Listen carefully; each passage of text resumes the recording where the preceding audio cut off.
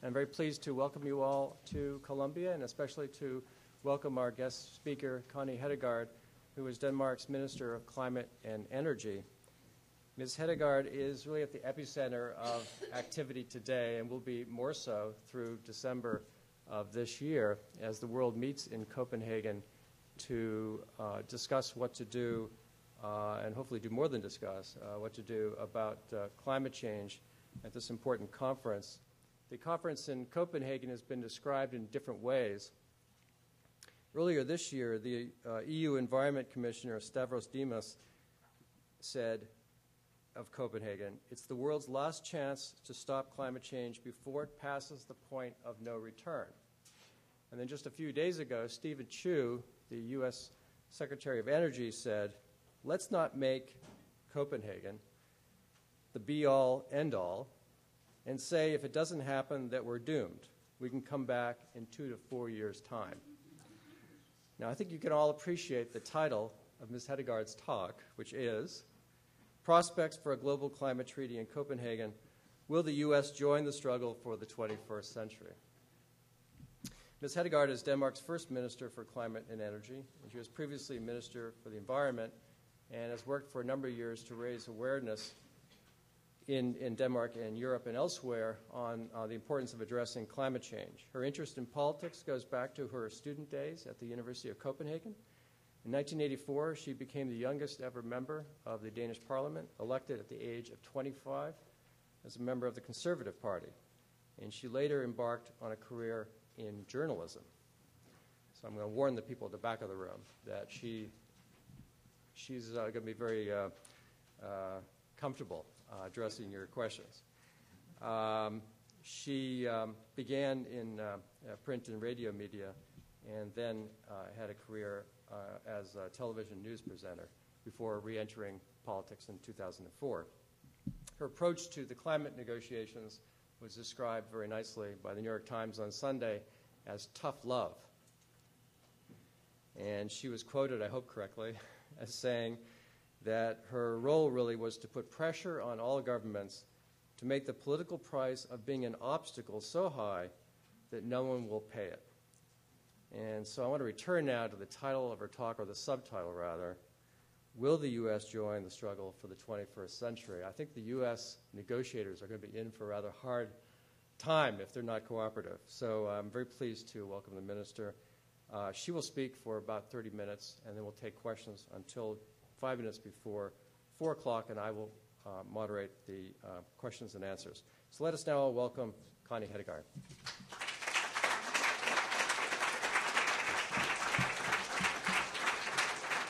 Thank you very much, Scott Barrett, and thank you very much for this opportunity to address you, but also not only to, to say something here, but actually also to get some chance, hopefully, to have an exchange with you. So I'll try to be not too long. Um, it's a pleasure to be here. It's always a pleasure to be at Columbia with such a rich history and with many good people also working within this field. The last time I had the chance to to be here was only some few months ago with uh, Jeffrey Sachs and his people, and I know a lot of good thinking is going on at, at this spot. But here, as it was just mentioned, I address you as a host of the largest climate conference in history. Now, it's not a purpose in itself that it's going to be as large as possible. Of course, it's because we think that it is a very crucial one, namely the one where the world actually does change the track that we are on right now. I think that this deal is deeply intertwined with strategic leadership in the 21st century. Uh, and I would say that getting a deal on climate, uh, a climate deal now um, and get it this year it is not only the most important international negotiation this year, it's probably the most important piece of international negotiation this decade. Unfortunately, it's also the most complex. If any of you have sort of dug into some of the papers, you will know what I'm talking about. It's extremely complex. Had the chance the other day to exchange views on this with Tony Blair, and he said he would say it's even more complicated than the other issues he had been involved in. And I mean, coming from a man who solved sort of the Northern Ireland crisis and is now sort of dealing with the Middle East, it says something about the complexity. But what are then the perspectives for US leadership in the 21st century? I just had the chance this morning to listen to your president uh, and his address to the UN General Assembly. And uh, it was interesting to me that President Obama, after having, or he sort of said, I have four uh, principal pillars for the 21st century that we should sort of focus on. And he mentioned the non proliferation of armaments. Then he spoke about the pursuit of peace, Middle East, and a lot of other issues. And then he said that we won't have peace unless we also address the third pillar, which is preservation of our planet. And that is basically also how I see it that this climate issue is not just about climate, it's not just about global warming, it's not just about energy. Basically, it's a security policy issue, and I'll try to go more into that in just a moment. Uh, but I believe that what is essential right now is how will the United States of America deal with the challenge of climate change.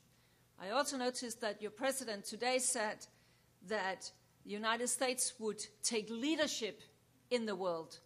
I take it it must also sort of count for this field. Few historians would dispute that America was a, if not the, the leading nation of the 20th century. And what constituted this leadership? I would say the three M's. US exerted leadership military, morally, and materially. Militarily, by intervening successfully in the two world wars and prevailing in the Cold War showdown. Morally, by holding high the principles of human rights and individual freedom. And materially, by taking giant innovative leaps, by raising standards of living and building the most productive and prosperous economy on the planet. And by that, sort of getting and gaining respect worldwide. Spreading material gains, helping others out of poverty, that was sort of one of the labels that sort of marked the United States of America. So as I see it, the question now is, will US be able to maintain the leadership in the 21st century? Here we have new rules, we have new challenges. It's not so much as it used to be military conflicts, it's more subtle conflicts in many ways. Just to take the challenge stemming from the fact that whereas today on planet Earth we are 6.6 billion people, we are supposed to become 9 billion people on planet Earth by 2050. All of those wanting the material goods, a share in the good life, heating and cooling and transportation and mobility and f- food and, and, and what have you. I mean, there is an, in, a tremendous demand for commodities, for growth, for exploitation of resources in the years to come.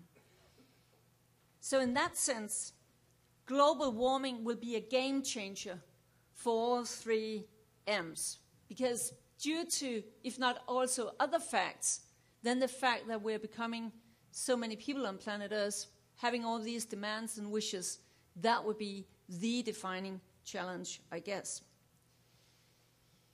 The 20th century military might of the US aimed, one could say, at fighting a foe, whether it was Nazi Germany, fascist regimes, or the Soviet Union and different communist rules highly successful, still superpower, the United States addressed all of these issues. But as I said, the security challenges of the 21st century are going to be very, very different. Even Pentagon has sort of given, given out a lot of reports now acknowledging that sea level rise and extreme weather could topple governments and destabilize entire regions. I recall back in September 2006 participating in the Clinton Global Initiative when, for the first time, I heard Wesley Clark, former general, explaining why climate change would be a security challenge for the United States. To be honest with you, at that time I thought now things must sort of turn in the United States because as long as you begin to see it as a security challenge, things normally would get a higher uh, attention. Uh, that was September 2006. Then in October 2006, Nicholas Stern, former chief economist at the World Bank and advisor to the British government, gave out the so called Stern Report, where he, among other things, highlighted that if we are doing nothing about it, then it's highly likely that by the middle of this century we're going to have between 150 and 200 million climate refugees in the world. By that, he also sort of underlined the security aspect. So, new security challenge will not be foes, but phantoms of underlying resource conflicts spurred, among other things, but spurred by climate change meaning that there would be sort of no bad guy or a bad ideology to defeat. This, of course, will require new strategies. We are going to fight causes of conflict rather than the victims of climate change. At least we still have that choice. General Anthony Zinni, former head of the Central Command, has put it this way We will pay for this, meaning climate change, one way or another. We will pay to reduce greenhouse gas emissions today and we'll have to take an economic hit of some kind. Or we will pay the price later in military terms, and that will involve human lives. Quote, unquote. Therefore, business as usual is not an option. You could say that the US economy was the motor of the 20th century providing everything from food to fridges at affordable prices. Uh, that was also what helped, for instance, Europe back on its feet after the World War II, the Marshall Aid, Alliance for Progress with Latin America, lots of initiatives came with that, and sort of the U.S. the U.S. economy was driving uh, prosperity in other parts of the world.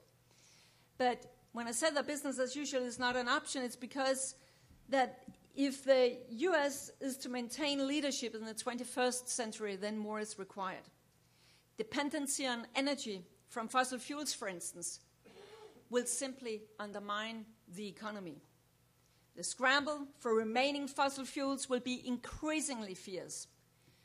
December last year, Mr. Tanaka, who is the Secretary General of the International Energy Agency, put it this way by 2030, he said, need for production capacity of oil, need for production capacity of another six Saudi Arabias will be needed to keep up with demand for oil.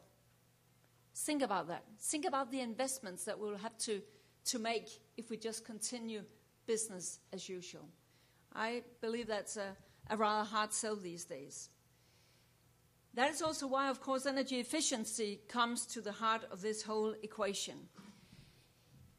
If we don't address this, prices will soar, probably to limits that we cannot sort of comprehend today, and trade deficits will only increase. Also, in the climate area, cost of inaction will rise. Again, according to the Stern report, they calculated that up to 20% of global, global GDP could be the cost of not doing anything. That could be the cost by the middle of this century. They spoke about damage to infrastructure and agricultural production, disasters in coastal regions, and lots of other uh, examples. Hurricane Katrina which we can say was definitely climate change, but we know what it means when natural catastrophe is coming close and how expensive it is to sort of conduct um, cost of inaction. I said that I'm not a scientist, so I'm not going to say that Hurricane Catherine had anything to do with climate change. I don't know if it had or had not, but what is for sure is that science tells us that we can expect incidents like that to occur with much higher frequency due to climate change in the decades to come. This is a lot of problems, and I could go into much more details about that. But I just think that what is also very important to stress here is that there are huge opportunities in the low carbon economy. Also, their leadership is up for grabs. President Obama has put it this way the nation that leads the world in creating new sources of clean energy will be the nation that leads the 21st century global economy. I agree 100%. This July, McKinsey uh, published a report, US and Energy Efficiency, where they said that the US energy efficiency program could cut energy demand by a fourth, reduce greenhouse gases with almost one fifth, and yet at the same time save $1,200 billion by 2020. In other words, energy efficiency done in the right manner can also be a factor of competitiveness. Investments in renewables is, as I see it, also to invest in new jobs. Berkeley professor Dan Kammen has said that every uh, has calculated that every dollar invested in renewables generates three to five times as many jobs as when invested in fossils. I think that there are several studies proving the opportunity for millions of green jobs for many reasons. One of them being that green jobs don't move abroad. I mean, if you install a wind turbine somewhere in Michigan, well, then the maintenance and everything, it stays in, in, in Michigan. And let me there just for a brief moment sort of dwell a bit on the Danish example. Back in the 70s, in my childhood, Denmark was 99% dependent on imported fossil fuels from outside. Primarily, we imported oil from the Middle East and from Saudi Arabia. Then, at a certain point, we had a huge energy crisis. There was a political disagreement with Saudi Arabia, and then suddenly we had no oil to import from there. That was sort of the starting point for us trying to do things differently.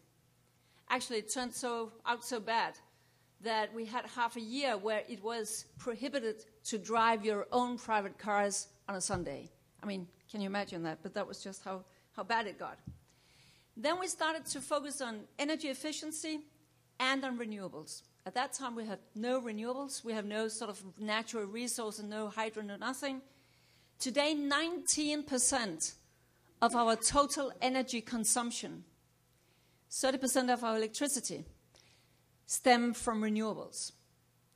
And the sector of energy efficient solutions and renewables have now turned out to be the most prosperous sector export wise in Denmark. Even last year, 2008, this horrible year, uh, this sector grew exports by 19%. So I think we can really make the evidence that it benefits your job, it benefits your economy. Even today, under this crisis, we have an un- un- unemployment rate which is just 3 point some percent. Actually, it's also interesting to notice that where did we have the biggest growth in jobs related to this sector? Actually, it was in the rural areas, where earlier on they had sort of outsourced textile industries first to Eastern Europe, later on to Asia. But now, today, where they used to have this textile industry, today they are now sort of the hubs for wind energy, wind turbines, pumps, energy efficient radiators, eh, coolers, cooling systems, heating systems, whatever. I'm not going to dwell more on the Danish example, just to say that together with this focus, we also gained totally energy independency also due to the fact that we explored oil and gas in the North Sea. But today, actually, we are producing more energy ourselves than we have to use ourselves. To me, there is no discussion that to turn green, that is also the key to future competitiveness. Um, a dominant position in the low carbon economy is a precondition, as I see it, for material leadership in the 21st century. And I understand that the new American administration is well on its way. We have the Waxman-Markey bill that is an important step on the way to a U.S. low-carbon economy, and I know that there are many other initiatives on its way. Of course, seen from my perspective, I can only say, get it through the Senate, please. But um, Senate bill has implications for U.S. position in the negotiations. We all know that. It means something what the U.S. can come up with on mitigation, on adaptation, technology, and finance.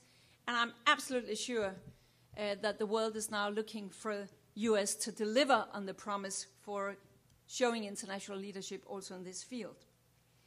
But I must also then warn you a bit. Because I think that the time to move is now. The race is on. All good things will not come to those who wait here. I really do believe there is a first mover advantage. And you should, as Americans, be aware that others are having this advantage right now. South Korea is moving, Europe is, China. I don't know if you're familiar with that, but let us dwell just a bit with China. The world's largest solar power firm today is Suntech. It's Chinese. This year, the world's largest installer of solar capacity will be China. This year, the world's largest installer of wind capacity will be China. This year, the world's largest exporter of energy efficient technologies, that will be China. China is, for a number of reasons, going into this business of growing in a greener way. Uh, for many reasons pollution challenges, economic challenges. 75% of, or something like it, of the Chinese stimulus packages have sort of been related to the green area. China is doing this. We heard in Hu Jintao's speech yesterday that they are setting a target for renewables of 15% by 2020. Uh, they are also now talking about emissions, intensity targets, and things like that. They start to acknowledge that they also have a responsibility in this field. I don't know, just to give you one example, it is said that today China puts up one wind turbine every hour. That's sort of the dimension of what is happening there. They plan to become the world's leading producer of electric cars they plan to install 200 million smart electricity meters in homes over the next five years. As Thomas Friedman wrote in his recent book, if we were China, not for two days, just for one. But I mean, when they decide to get it done, they really get it done. As I said, there are many reasons why they do this, but they are not alone. China is moving. Some of us have, in recent days, been pretty much with representatives from the Indian government. And publicly, India announced uh, this Monday that now they are also taking actions. We all knew that, that they're doing this domestically, but they actually start also now to recognize that they must also sort of verify in front of the rest of us what are they doing, and not only what are their plans, but what would be the mitigation outcome of these plans. I'm not going into any detail into that now, but just to say India is also leaving the rhetoric that you, the rich countries created the problems and we're just waiting for you to solve it. They start to say, yes, we know we will also have to be part of this equation. They are actually also moving now. For really quite some years, many countries have been hiding behind the fact that China and India was not really doing anything international in this field. Now they start to move. So, needless to say, the pressure towards those who may not be moving that much still, that will increase. Can I just, before I, within long, will we'll finish this, just mention another example? We're often talking about India, China, the emerging economies. Now I mentioned that in my childhood we were dependent of imported oil from Saudi Arabia.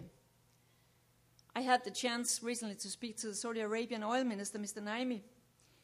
He is now, today, he is at the inauguration of the big King Abdullah University in Jeddah, where they have established seven laboratories, where the solar laboratory will be the most modern in the world right now. Why?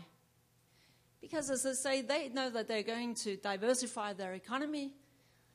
That's the only way they can sort of employ the young generation. And they have this vision that within only a few decades, exports of solar from the Saudi Arabia will be bigger than today the export of oil. I mean, as Bob Dylan said, the times are a changing. It's just to say that it's not just a question of China and India that's all important. It's all around the planet that things start moving. Now, I also mentioned this moral leadership that the United States uh, had in the 20th century by building legitimate international institutions like the UN and Bretton Woods and lots of other things. Could one imagine moral leadership in the 20th century without establishment of these institutions and cooperating with them? Wouldn't that not be a part of having this moral leadership? I believe yes. So, what constitutes moral leadership in the 21st century? Well, first is about leadership by example. There you can say that the 20th century was a showdown of military power, but the 21st century would be about who can create the most sustainable and resource efficient society. As we enter into the second decade of this century, the US can renew its moral leadership on the defining global issue of 21st century climate change by leading by example. And there I really have an appeal to my American friends to enact a and trade system, set renewable energy targets, and move forward with the legislation in the Senate. I'm absolutely sure that this will inspire the world. And then the co benefit will be that the US will be set up for a low carbon growth. America must renew itself and lead once more, not by the example of its power, but by the power of its example. Creating global institutions, structures to contain climate change and to ensure that we minimize the hardship of those exposed to its consequences will also be essential to having this climate deal done in Copenhagen. That's actually what the conference is all about. And I will end up just saying a few things about this global deal. As you know, the G8 leaders and the major economist forums leaders, the 17 biggest economist leaders, agreed this summer in Italy that we should strive to keep global temperature increase at a maximum of 2 degrees Celsius, that is 3.6 degrees Fahrenheit. One thing is that we must do this because science tells us that it is essential. And we must also do it because, as I said, cost of inaction is much more expensive. Therefore, of course, developed countries must take the lead with deep cuts in greenhouse gas emissions. We must reduce by the middle of this century by 80% in order to have global reductions uh, in, the, in the magnitude of 50%. But it is equally important also to have ambitious midterm targets. It's not enough as a politician of today just to say what is going to happen 41 years from now. We must also start sort of having the pathway defined already. Both developed and developing countries act now to reach the goals set by the Intergovernment, Intergovernmental Panel on Climate Change of peaking eh, within some very few years, and large developing countries, as I said, start to take a cleaner, greener path than industrialized nations did when we created our wealth with technological and finance assistance from developed countries. But we must also provide assistance that enables vulnerable countries to adapt to the impact of climate change. We must boost capacity building and provide finance and technology for the vulnerable countries that are hit hardest and hit first. Therefore, Copenhagen must catalyze the transition to a global low carbon economy. That is basically what we must try to achieve this December. I know it's an enormous ambition, and I know that it's also the largest overhaul of the world economy since industrialization. But I also believe that there is an enormous potential. There are lots of wins. An ambitious deal will expand markets for clean technologies, and nations must grow in a sustainable manner, or we will have much higher increase in temperatures with catastrophic fo- follows of that. Thus, and this will be my final point, thus, this is not an anti growth agenda. It is the opposite. It is the only kind of growth we can afford in the 21st century. If we don't do this, then it's going to turn out anti growth. I also think that one of the very crucial benefits that will come with this focus is enhanced energy security. I recall during your election campaign last September, Henry Kissinger wrote an article where he said, How wise is it to borrow all this money in China for to be able to pay them to different regimes in the Middle East? Maybe there is a wiser way of sort of gaining strategic leadership. Therefore, I believe that if we don't make the binding political commitment in Copenhagen this year, there is a risk that then we'll never make it, and then we can come back to that. But those who will suffer the most will probably be American business. Why is that? Because China is doing this anyhow. EU has decided for itself how we will do this, and we have split the burden among us. So, if not American business has the driver of a political framework, a known political framework, with some binding commitments, then it will take longer time to make the transition, and they will be the losers. Basically, I believe that this level playing field, we will never have it from one day to another. It takes time also to have the global price on carbon, but it will come through an international agreement. And we need that agreement not only for the sake of climate, but also because a bottom up approach will be much, much slower. And if we don't get the targets and the reductions, but just saying Copenhagen will do the easy parts, the adaptation part, technology maybe, then let's come back sometime next year or the year after to address the reductions. Then I have one question left. Where would you then have the finance from? The finance is going to stem from having a carbon market that could also generate billions into adaptation and technology, and that would be what incentivizes business actually to make the innovation technology wise that we need. So that is why we must have this agreement. We must have it done. We have been talking for many years. And I would also say, yes, it's complicated. Yes, it's difficult. But yes, it is also doable if we want to do it. There will be lots of elements to be dealt with later, lots of details. What it's about now is to have the political agreement. And just a final reflection. Those in America that says, it would be much better if we did it April, March maybe, not, not later, because then there are midterm elections coming up. That's not, no good. I mean, it's not that easy to plan how the world will look like in March, April of 2010. Say that suddenly we're all stuck with some very, very big challenges in Afghanistan. Say that those economists who say that we have only seen the first bottom of the economic crisis, maybe there is a new to come, maybe they were right. I mean, if we miss that opportunity, this window of opportunity that has been building up for many years, if we miss that now, we never know when we get a new chance. That is why I believe that we are very much dependent on the US to be able to show leadership.